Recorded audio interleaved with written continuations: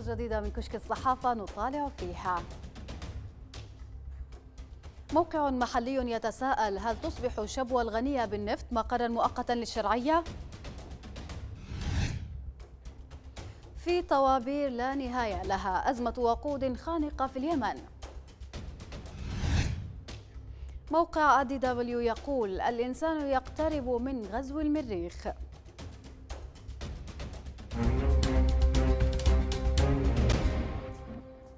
أهلا بكم. في تقرير لموقع الحرف 28 عنوان بارز. هل تصبح شبوة الغنية بالنفط مقرا مؤقتا للحكومة الشرعية؟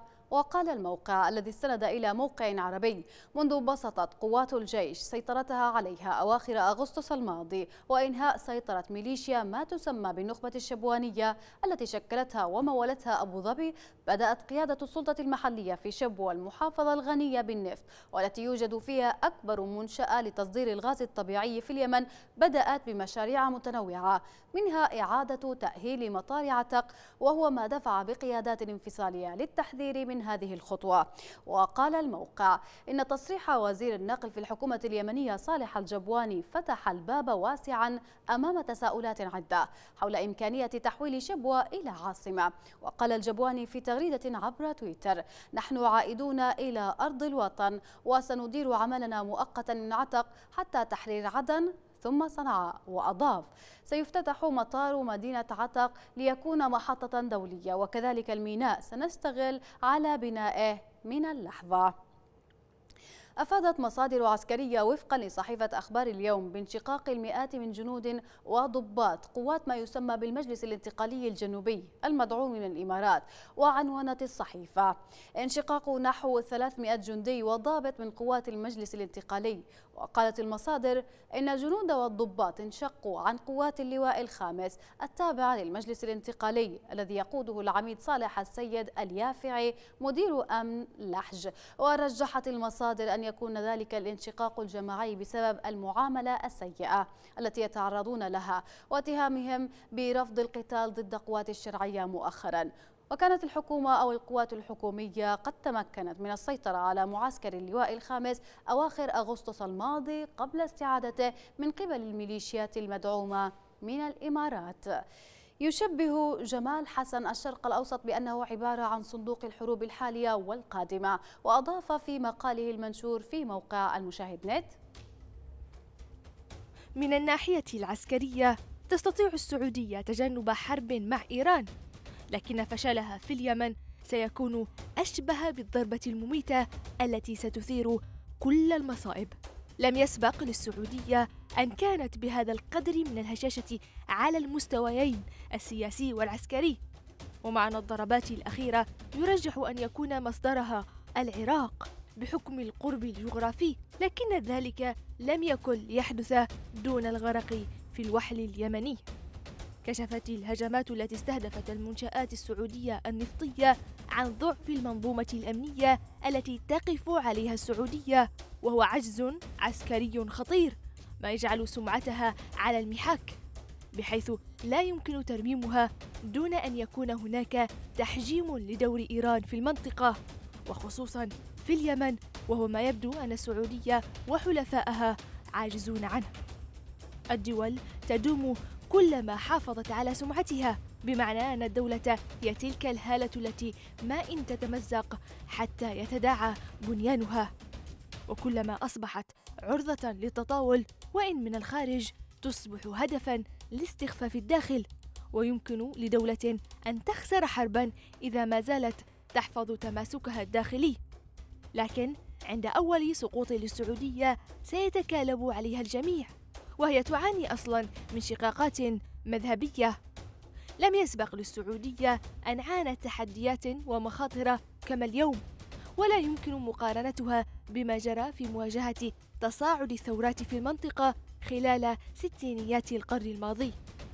كانت لا تزال في مرحلة فتية إبان حكم الملك فيصل وهناك ظروف دولية مختلفة. في هذا الوضع يناسب أن نطلق على السعودية تسمية الرجل المريض وهو الوصف الذي ظلت أوروبا تنعت به الدولة العثمانية عقودا. المختلف أن السعودية في منطقة مليئة بالأوبئة وتنشط في الصراعات الدينية والقومية وتعاني انهيارات في بناها الاجتماعية والسياسية. لعله سياق مرتبط بما كانت إدارة جورج بوش دشنته. واصطلحت عليه وزيرة خارجيته كونداليزا رايس مصطلح الشرق الأوسط الجديد لكن هل سيتم تسليم بقية المنطقة لإيران كما جرى في العراق وسوريا ولبنان؟ أو سيحدث أمر آخر؟ بعد إغلاق عدد من المشافي في صنعاء اتجهت ميليشيا الحوثي إلى الصيدليات لمطالبتها بالأموال وعنون مسند للأنباء مئة ألف ريال شهريا إيتاوات جديدة تفرضها جماعة الحوثي على كل صيدلية في صنعاء حيث فرضت ميليشيا الحوثي إيتاوات جديدة على الصيدليات في صنعاء دون أن تذكر أي مسمى لهذه الجبايات. وقال مصدر في وزارة الصحة التي تسيطر عليها الميليشيا الحوثية منذ أن نفذت انقلابها على الشرعية في الحادي والعشرين من سبتمبر 2014 قال إن وزير صحة الحوثيين المدعو طه المتوكل فرض على كل صيدلية دفع مئة ألف شهريا على كل فتحة. وأكد المصدر أن الميليشيا هددت ملاك الصيدليات بإغلاق محلاتهم في حال رفضوا دفع الإتاوات الجديدة أو تقاعسوا عن دفعها. وأضاف المصدر أن وزارة الصحة تهيئ سوق الأدوية لصالح تجار ورجال أعمال موالين للميليشيا للسيطرة على هذا القطاع المهم من خلال التضييق على تجار الأدوية. يذكر أن ميليشيا الحوثي تنفذ حملة واسعة ضد الصيدليات والمستشفيات وتطبيق عدد من الإجراءات التعسفية بحقهم تحت مبررات واهية. يشكو المواطن عبد السلام محمد من المعاناة التي واجهها أثناء سفره من مديرية شرع بالرونة إلى مدينة تعز لإسعاف والدته واستغرق السفر من قريته إلى مدينة تعز أكثر من عشر ساعات بسبب حصار ميليشيا الحوثي لمديرية شرع حيث كانت الطريق لا تحتاج لأكثر من ساعتين وعنون الموقع سكان شرع السفر إلى المدينة من استطاع إليه سبيلا وقال الموقع فاقم إغلاق المنافذ المؤدية إلى مدينة تعز منذ مطلع العام 2015 من معاناة سكان مديرية شرع بالرونة أثناء تنقلهم من وإلى المدينة. ويسلك سكان المديرية الطريق من مفرق شرع غرب مدينة تعز مرورا بمدينة هجدة ومنطقة البيرين التابعة لمديرية مقبنة غربا. ثم يمرون بسيارات الدفع الرباعي على طريق شديدة الوعورة غرب مديرية جبل حبشي وصولا إلى منطقة الضباب قبل الوصول إلى وسط مدينة تعز. تشكو أم عمار من الألم والمعاناة وهي في طريقها إلى مدينة تعز لتلقي العلاج بعد إصابتها بألم في الكلى. وقالت للمشاهد تمنيت الموت عن الألم الذي تحملته طوال الوقت أثناء سفرنا والطريق الفرعية التي مشينا بها زادت من الألم. ماذا يستفيد اليمنيون من أوهام الحوثية البطولية؟ يتساءل عبد الوهاب العمراني في مقاله المنشور في الموقع بوست. تتعامل الإدارة الأمريكية عبر إدارة الرئيس ترامب مع السعودية بالوعود والابتزاز دون مساعدة أمنية رغم خسائر المليارات. مجرد دعم تصريحات وهو الأمر نفسه في مساندة السعودية للحكومة الشرعية. بيانات ووعود لا تعكس الواقع الذي في واقع الحال من مرارة إجرام ميليشيا الحوثي لأكثر من خمس سنوات. تدليس وخداع واضح لقي مسوغا ورواجا عند تحالف ضعيف متآمر. هو من أسقط صنعاء وساند انقلابا آخر مؤخرا في عدن رغم أنه أتى تحت لافتة استعادة الشرعية. ويصدق الروائي أمين معلوف بقوله أنا على يقين بأن من سيكتبون التاريخ بعد مئة عام سيقولون أن النفط لم يحقق الثروة للعرب إلا التعجيل في هلاكهم. نظرة العالم لليمن غدت من زاوية أمنية وليست تنموية. ثمة أمور تداخلت وفرضت نفسها لتخلق واقعا أشبه بالحقائق التي لا جدال فيها. اليمنيون فقدوا البوصلة. يعتبرون الرئيس السابق بطلا وطنيا وهو سبب كل ما نحن فيه. فالحصانة وشبقه للسلطة من أجل رئيس من بعد اسمه أحمد هو سبب كل مآلات الربيع العربي في نسخته اليمنية. دليل محنة اليمن بجريرة فساد ثلث قرن من حكم زعيم الفساد أن أعداء اليمن اليوم يريدون استعادة الدولة العميقة من خلال أسرته في مواجهة الحوثي تمهيدا لتنصيب أحد أفراد أسرته للشمال على أن يبقى الجنوب للانتقال. وهذا واضح وليس تدليسا وادعاء عشرات التغريدات والتصريحات الإماراتية تقول هذا بتواطؤ ورضا سعودي. واضح لأنهما وجهان لعملة واحدة. نحن شعب يقدس جلادة ويجعل من مجرميه رموزا وطنية ولا ندري ماذا يحصل ولماذا وكيف وبالتالي نهرول إلى أين. خلاصة كل ما جرى ويجري نقول الآتي. الهزيمة المعنوية الكبرى التي تلقاها اليمنيون كانت بسبب ركونهم إلى التحالف. اشتدت حدة أزمة الوقود التي تشهدها المناطق الخاضعة لسيطرة الحوثيين. ما دفع قائدي السيارات وفق العرب الجديد إلى الانتظار أياما في طوابير تمتد أمام الناظر في بعض محطات البنزين إلى ما لا نهاية. ولم تتوقف تداعيات أزمة الوقود على السيارات التي توقفت إنما امتدت إلى مرافق حيوية مثل مضخات المياه ومولدات الكهرباء في المستشفيات ونقل السلع أيضا في الكثير من المحافظات. وأدى انعدام المشتقات النفطية إلى أزمة خانقة في وسائل المواصلات حيث ارتفعت أسعار المواصلات بنسبة تصل إلى 150% في العديد من المحافظات. وبينما اختفت منتجات الوقود من المحطات قفزت أسعارها في السوق السوداء إلى مستويات كبيرة ليصل سعر جالون البنزين 20 لترا إلى 27 ألف ريال. نشرت صحيفة الإندبندنت تقريرا خاصا عن هجمات إيران على السعودية وعنونت الصحيفة. لماذا لا يتوجه الإيرانيون للملاجئ بعد استهدافهم أكبر منصة للنفط في العالم؟ يقول التقرير إنه بعد الهجوم الذي شنته إيران على السعودية أكبر منصة للنفط في العالم وما تلا ذلك من استعدادات أمريكية لشن هجوم عليها. لم نشاهد المسؤولين الإيرانيين يتوجهون إلى الملاجئ وينتظرون تلقي الضربات تضيف الصحيفة. بدلا عن ذلك توجه حسن روحاني الرئيس الإيراني ووزير خارجيته محمد جواد ظريف إلى زيارة خارجية. مسؤولون إيرانيون أيضا سافروا إلى الصين بعد الهجوم لمناقشة اتفاقيات اقتصادية تعمق العلاقات بين البلدين وتضم إيران إلى دول برنامج الطوق وعن ضغوطات ترامب قالت الصحيفة إن كل ذلك ذهب أدراج الرياح بسبب موقف روسيا التي تقدم تقدم الغطاء السياسي لإيران والصين التي ربما سنراها قريبا تستثمر بشكل ضخم في إيران. في الأوجه الخفية للسلطة العميقة تحت هذا العنوان كتب ماجد الشيخ مقاله في صحيفة العرب الجديد. بعد سلسلة طويلة من انتفاضات الحركات والمطالب الشعبية لثورات الربيع العربي في بلادنا العربية بات كثيرون منا يدركون أن مناهضة السلطة الاستبدادية وزعيمها الأوحد ونظامه أو نظامها الحاكم ليس كافيا للعمل على إطاحتهما بل لابد من أجل إنجاز مثل هذه المهمة التاريخية على درب الحرية والتغيير من إسقاط ركائز نظام لم يعد يجدي معه ومع سلطاته القائمة على قواعد سلطة عميقة سوى التغيير. تغيير ما يتمظهر كما ما يتخفى من دكتاتوريته واستبداده. نجح السودانيون جزئيا في تحقيق بعض مطالب ثورتهم وفشلوا جزئيا. نظرا إلى موازين القوى السائدة هناك في إقامة سلطة حكم مدني ديمقراطي. فكانت الشراكة بمثابة نصف انتصار لهم على النظام القديم الذي نجح في إبقاء بعض قوى السلطة العميقة. أما في الجزائر وعلى الرغم من مضي أكثر من نصف عام على رحيل أو ترحيل الرئيس السابق عبد العزيز بوتفليقة عن رئاسته البلاد إلا أن نظامه ورموزه من أعمدة السلطة العميقة ما زالوا يحاولون إبقاء سلطانهم وسلطاتهم.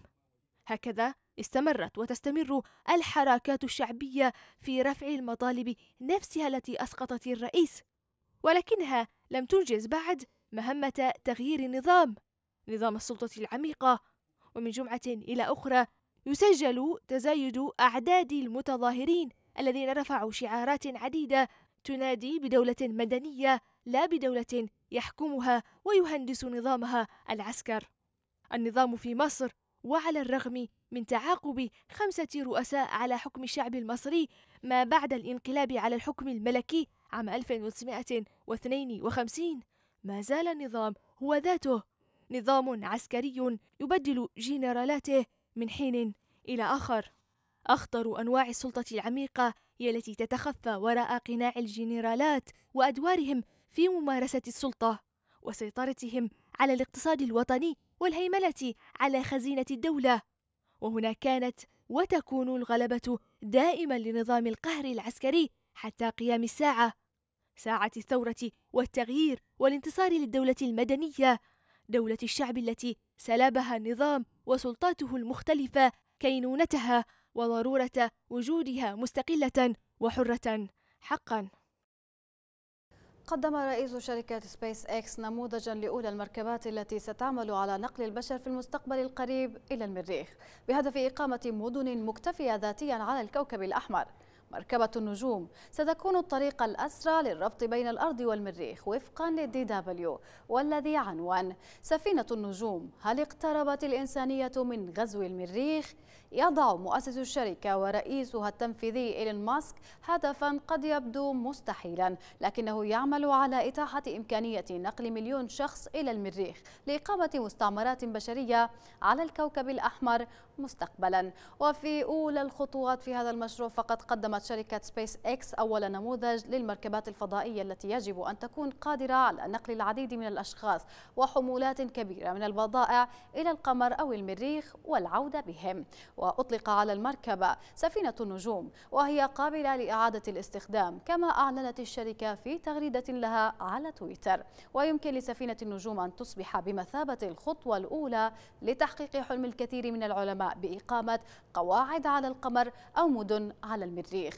ووفقا لشركة سبيس إكس فإن إمكانية استخدام المركبة الفضائية تفوق الوصول إلى القمر أو المريخ. وينقل الموقع عن إيلون قوله بأن مركبة النجوم ستكون قادرة على نقل نحو 100 شخص في رحلات طويلة بين كواكب الكون الفسيح. ووفقا للخطط التي أعلنتها أو أعلنت عنها الشركة عام 2016 أنه سيتاح البدء بذلك عام 2025 حيث ستقل المركبة أول الأشخاص إلى الكوكب الأحمر. بيد أن وكالة الفضاء الأمريكية ناسا ترى أن أول مهمة مأهولة لكوكب المريخ ستكون في عقد الثلاثينيات من هذا القرن. الأشخاص الذين يستنكرون تقنيات التعرف على الهوية من الوجه ربما يشعرون بصدمة بسبب تطور تقنيات تحديد الهوية مثل تحديد الهوية عن طريق أسلوب المشي وحجم وحركة القدم ومساحة الخطوة أيضا بينما تعمل شركات أخرى على أنظمة تعتمد على سرعة ضربات القلب. وتعنون صحيفة بريطانية. تحديد الهوية عن طريق دقات القلب أو طريقة المشي وفقا لتقرير في صحيفة الديلي تيليغراف. قام بترجمته موقع البي بي سي. فإن لندن نصبت كاميرات للتعرف على الهوية عن طريق تفصيل في الوجه حتى لو كان مغطى بالكامل. فقد تحتاج إلى التقاط صورة الأنف أو العين أو الأذن لتحديد الهوية. هذه الكاميرات تعمل بدعم أنظمة إلكترونية تعرف بأنظمة التعرف على الهوية والتي تعمل بناء على قاعدة بيانات واسعة تمكنها من التعلم وتسجيل أنماط وأشكال الوجوه. وتقول الصحيفة إن كثيرا من الشكاوى قدمت في مختلف أنحاء العالم بسبب مشروعات تطوير تقنيات التعرف على الهوية ومنها ما يعتمد على أسلوب الحديث أو الإيماءات المعتادة. وذلك في إطار المنافسة الشديدة بين الشركات الشركات العاملة في القطاع الأمني والتي تتوقع أن تدر هذه التقنيات مبالغ تقترب من 15 مليار دولار سنويا على مدار الأعوام الخمسة المقبلة. وضع جان جاك روسو أهم الكتب الفكرية وبينها العقد الاجتماعي الذي أصبح دستورا للأحكام المدنية كما وضع أعمالا أدبية خلدته بين كبار الروائيين ويعد الأب الأول للثورة الفرنسية. وقد كتب الاعترافات وهو كتاب من أهم الآثار الكلاسيكية. وحول مضمونه كتب سمير عطلة مقاله في الشرق الأوسط مضيفا.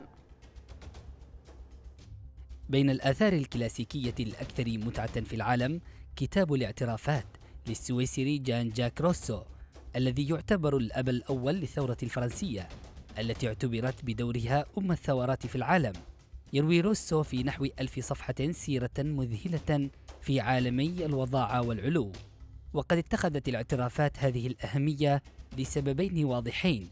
الأول مكانة صاحبها وثانيا التفاصيل الدرامية السوداوية أحيانا والساخرة أحيانا أخرى. نرى روسو مشردا بين سويسرا وفرنسا وإيطاليا فقيرا لا يملك ثمن قوته أو ينام في الحدائق العامة من أجل أن يوفر كلفة الغداء. لم يترك مفكر الثورة الفرنسية مهنة إلا وجربها. وكم نرى من مشابهات غريبة ومأساوية بين ما تعرض له من فقر ومجاعة وبين ما عاناه أبو الثورة الشيوعية كارل ماركس. لم يعانيا الجوع فقط بل تركا أولادهما يجوعون أيضا. ولم يدعي ماركس معرفة أي مهنة أو حرفة غير الكتابة غير أن روسو انتحل جميع المهن التي لا يعرف عنها شيئا. وبلغ به الأمر أنه زعم ذات مرة أنه مؤلف موسيقي وبالفعل دعي إلى قيادة فرقة خلال حفل أقيم في جنيف. ووقف قائد الفرقة العظيم ومعه عصا القيادة الماسية. وراح يتأمل دفتر الموسيقى أمامه فيما الموسيقيون يتأهبون للبدء في العزف.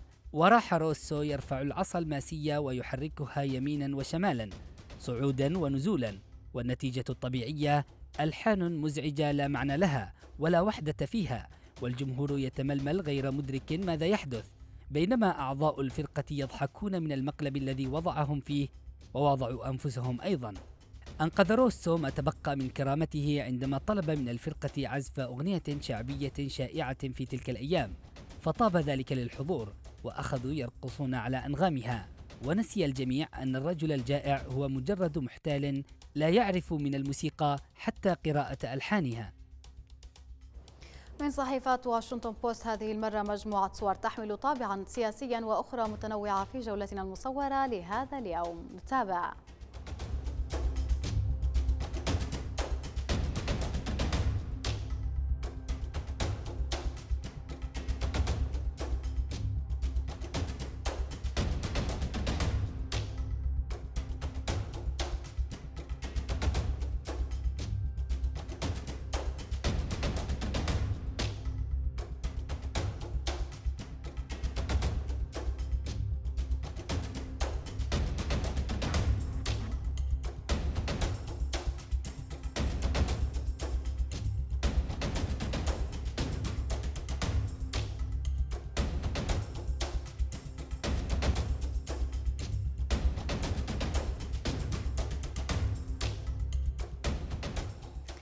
الكاريكاتير فن ينافس الكلمة ويختصر الرسائل الكثيرة في لوحة واحدة.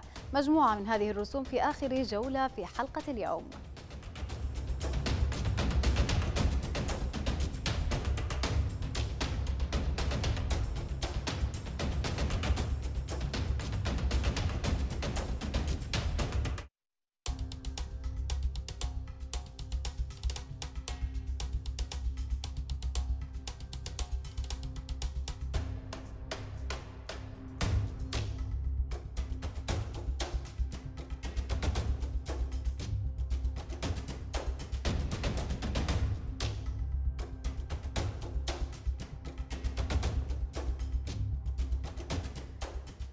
إذا بهذه المجموعة من الرسوم والصور نصل إلى ختام حلقة هذا اليوم. شكرا على المتابعة. إلى اللقاء.